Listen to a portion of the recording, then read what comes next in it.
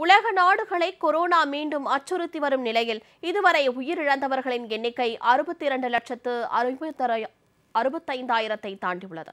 பாதிப்பு எண்ணிக்கையும் ஐம்பத்தோரு கோடியே நாற்பத்தாறு லட்சத்தை கடந்துள்ளது.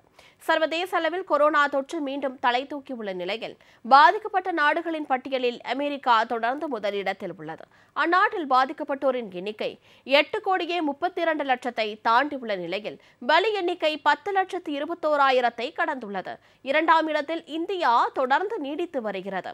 பிரேசில் பிரான்ஸ் ஜெர்மனி இங்கிலாந்து ரஷ்யா தென்கொரியா உள்ளிட்ட நாடுகளும் கொரோனா தொற்றால் கடுமையாக பாதிக்கப்பட்டுள்ளன. தற்போதைய நிலவரப்படி உலகம் முழுவதும் கொரோனாவால் பாதிக்கப்பட்டோர் எண்ணிக்கை ஐம்பத்தோரு கோடியே ஐம்பத்தாறு லட்சத்தை தாண்டியுள்ளது அறுபத்தி இரண்டு லட்சத்து ஐம்பத் அறுபத்தைந்தாயிரத்துக்கும் மேற்பட்டோர் கொரோனா வைரசுக்கு பலியாகிவிட்டனர். சர்வதேச அளவில் கொரோனா பாதிப்பிலிருந்து இதுவரை நாற்பத்தாறு கோடியே தொண்ணூத்தி மூன்று லட்சத்திற்கும் மேற்பட்டோர் மீண்டுள்ளனர்.